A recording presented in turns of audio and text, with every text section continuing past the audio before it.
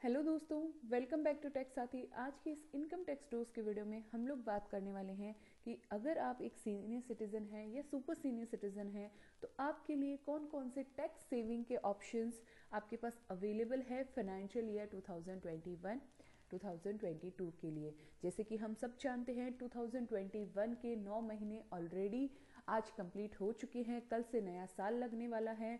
तो आगे आने वाले जो तीन महीने हैं, उनमें आप कौन सी ऐसी टैक्स प्लानिंग कर सकते हैं जिससे आपका टैक्स जो है आप सेव कर सकते हैं? आज की वीडियो में हम विद एक्सेल शीट कंपटीशन के माध्यम से जानेंगे कि आपकी इनकम टैक्स की कैलकुलेशन कैसे होगी, साथ में आप मैक्सिमम टैक्स सेव कैसे कर सकते हैं। तो अगर आप भी जानना चाहते हैं इन सारी इंपॉर्टेंट बातों को तो आप इस वीडियो को ज़रूर देखिए एंड तक देखिए। साथ में मैक्सिमम लोगों के साथ इस वीडियो को शेयर कीजिए ताकि उनको भी इस वीडियो का बेनिफिट मिल सके। और अगर अभी तक आपने हमारे चैनल टेक साथी को सब्सक्राइब नहीं किया है तो उसे सब्सक्राइब करने के साथ साथ बेल आइकन को प्रेस कर दीजिए, ताकि ऐसे ही लेटेस्ट वीडियो अपडेट आप सभी को मिल सके। तो चलिए स्टार्ट करते हैं हमारे आज की इस वीडियो को। लेकिन वीडियो को स्टार्ट करने से पहले मैं आप सभी को एक बात बताना चाहूँगी कि अगर आप स्टॉक मार्केट में इन्वेस्ट करना चाहते हैं, अपना फ्री में डीमेट अकाउंट ओपन करना चाहते हैं, या डीमेट अकाउंट के थ्रू आप यहाँ पे रेफर और अर्निंग के प्रोग्राम के थ्रू अपना कमाई करना चाहते हैं तो आप वीडियो के डिस्क्रिप्शन में एंजल ब्रोकिंग के थ्रू अपना फ्री में डीमेट अकाउंट ओपन कर सकते हैं और रेफर करके भी अर्निंग यहाँ पे कर सकते हैं। तो चलिए स्टार्ट करते हैं हमारे आज की इस वीडियो को। तो यहाँ पे मैंने कुछ कुछ कंपोनेंट इनकम के कंसिडर किए हैं सीनियर सिटीज़न के लिए, जिसमें कि आप देख पा रहे हैं, यहाँ पे मैंने सैलरी और पेंशन की इनकम को आठ लाख रुपए कंसिडर किया है, हाउस प्रॉपर्टी रेंट को पाँच लाख रुपए और यहाँ पे सेविंग बैंक का इंटरेस्ट जो है, वो है आपका पंद्रह हज़ार रुपये एफ़ डी आर इंटरेस्ट मैंने यहाँ पे थर्टी फाइव थाउज़ेंड लिया है और अदर जो मिसलिनियस इनकम मैंने यहाँ पे कंसिडर की है, दो लाख रुपए। जैसे कि यहाँ पे आप इनकम देख पा रहे हैं टोटल इनकम जो है, अगर मैं यहाँ पे देखूँ, पूरे साल में यहाँ पे सीनियर सिटीजन की पंद्रह लाख पचास हज़ार रुपये है। तो अब इस पे पंद्रह लाख पचास हज़ार पे कैसे आप अपना टैक्स सेव कर सकते हैं? ज़ीरो टैक्स आप अपने यहाँ पे कैसे जो है पे कर सकते हैं? तो चलिए देखते हैं, आइए इस वीडियो में आगे बढ़ते हैं। तो सबसे पहले यहाँ पे मैंने कंपटीशन बनाई है, जिसके अंदर नेम, आपका date of birth, previous year ended, assessment year, status और आपका पैन नंबर है। उसके बाद कंपटीशन ऑफ़ इनकम जिसके अंदर सबसे पहले अपना हेड आता है इनकम फ्रॉम सैलरी तो यहाँ पे अपन ने ग्रॉस सैलरी डिस्कस किया है, जो कि है आठ लाख रुपए. तो आठ लाख रुपए में मैं यहाँ पे किसी भी तरह की एचआरए प्रोफेशनल टैक्स या कोई अदर डिडक्शन यहाँ पे नहीं ले रही हूँ। अदर डिडक्शन जैसे एच की कैलकुलेशन कैसे होना है? वीडियो का लिंक जो है डिस्क्रिप्शन में है। आप वहाँ से जाके उस वीडियो को देख सकते हैं। प्रोफेशनल टैक्स जो होता है, वो आप यहाँ पे वर्किंग है तो आपका प्रोफेशनल टैक्स डिडक्ट होता है तो उसकी छूट आप यहाँ पे ले सकते हैं। अदर डिडक्शन की अगर मैं बात करूँ तो कोई भी तरह की अदर डिडक्शन जैसे कि आपके एल की डिडक्शन हो सकती है अगर आपने, या आपने कोई भी तरह का कोई भी अलाउंसेस मिलता है, जैसे कि आपका चिल्ड्रन केयर अलाउंस मिलता है, आपको हेल्थ केयर कोई भी अलाउंस मिलता है तो उसकी डिडक्शन आप यहाँ पे ले सकते हैं लेबर वेलफेयर फंड के अंदर अगर आपने डाला है तो उसकी डिडक्शन आप ले सकते हैं।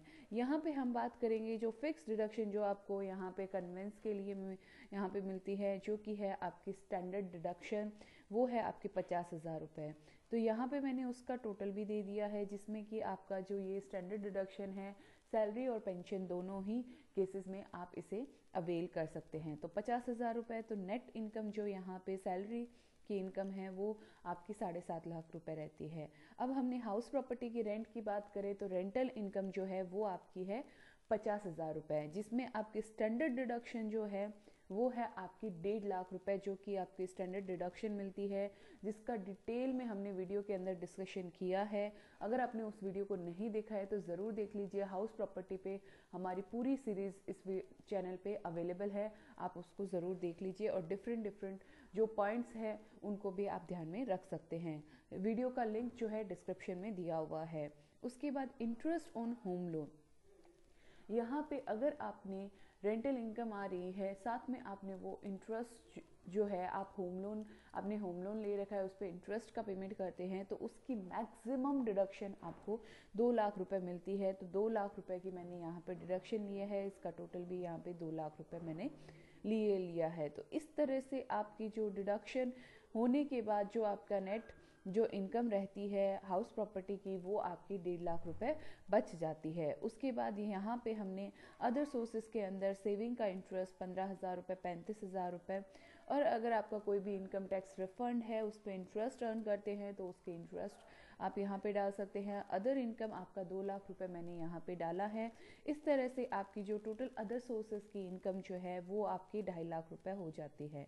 तो टोटल अगर मैं ग्रॉस टोटल इनकम देखूँ, जो स्टैंडर्ड डिडक्शन है, उसके बाद अगर मैं आपकी देखूँ तो वो आपकी रहती है पंद्रह लाख पचास हज़ार रुपये में से आपके चार लाख डिडक्ट हो जाते हैं और बचती है आपकी ग्यारह लाख पचास हज़ार रुपये तक की इनकम उसके बाद हम यहाँ पे बात करते हैं एटीसी जो टैक्स सेविंग ऑप्शन है, सबसे बेस्ट ऑप्शन जो सीनियर सिटीज़न के लिए हम यहाँ पे मान सकते हैं। एटीसी है।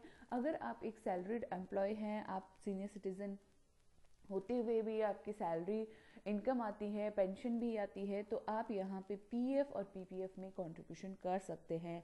तो पीएफ में जो आपका ईपीएफ करता है, वो आप यहाँ पे छूट ले सकते हैं और पीपीएफ में जो कंट्रीब्यूशन करते हैं तो वो आप यहाँ पे छूट ले सकते हैं, जिसमें हाउसिंग लोन का इंटरेस्ट का छूट हमने ऊपर डिस्कस कर लिया हाउसिंग लोन इंटरेस्ट के अंदर।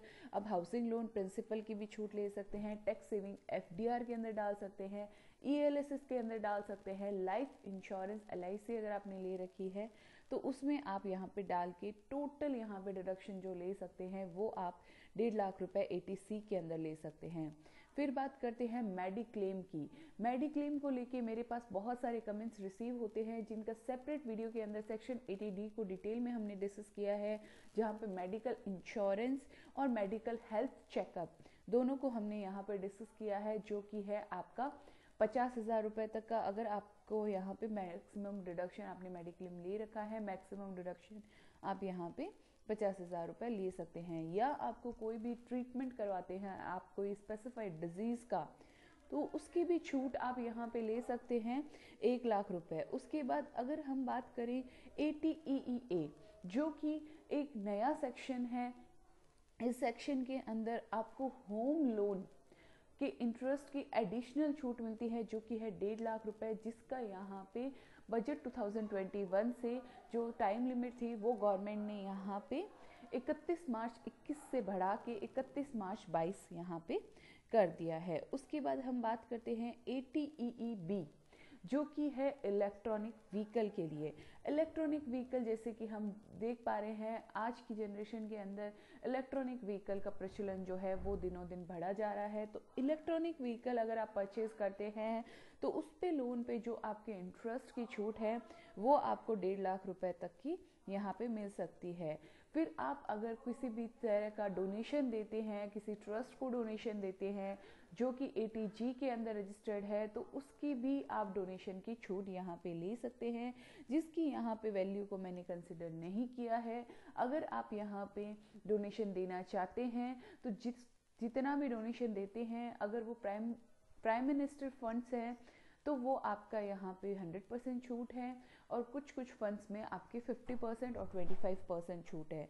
तो इस 50 परसेंट और 25 परसेंट को आप यहाँ पे ले सकते हैं। तो जो आप डोनेशन देते हैं, उसकी एलिजिबिलिटी के अकॉर्डिंग आप यहाँ पे छूट ले सकते हैं। उसके बाद आता है हमारा A T T T B A T T T B में आप सेविंग एफ़ टी आर की इंटरेस्ट की छूट ले सकते हैं, जो कि आपका टोटल है पचास हज़ार रुपये तो इस तरह से हम यहाँ पे देखते हैं कि आप senior citizen total tax saving जो यहाँ पे कर सकते हैं, वो है नौ लाख रुपए।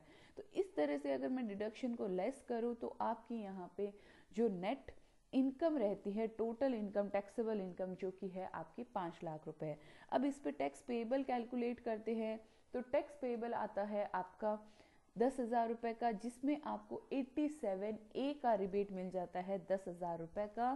तो इस तरह से आप अपनी जो है डिडक्शन जो है आपको किसी भी तरह का टैक्स जो है पेबल नहीं करना पड़ता।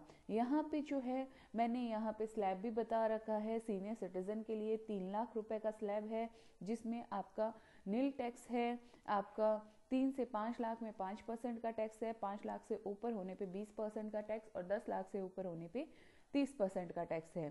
तो इस तरह से आप अपने स्लैब को देख के अपने टैक्स को प्लान कर सकते हैं, टैक्स प्लानिंग कर सकते हैं और अच्छे तरीके से अपना टैक्स को सेव कर सकते हैं। तो आज का ये वीडियो कैसा लगा कमेंट करके ज़रूर बताइए। वीडियो को रिलेटेड कोई भी क्वेरी कमेंट है तो आप हमें मेल कर सकते हैं, हमें कमेंट कर सकते हैं। साथ में अगर आपको ये एक्सेल शीट चाहिए तो आप हमें मेल करके बताइए, हम आप सभी को ये एक्सेल शीट ज़रूर भेज देंगे। तो चलिए, आज की इस वीडियो में बस इतना ही। मिलते हैं ऐसे ही लेटेस्ट वीडियो अपडेट के साथ। तब तक के लिए कीप वॉचिंग स्टे अपडेटेड जय हिंद, जय भारत।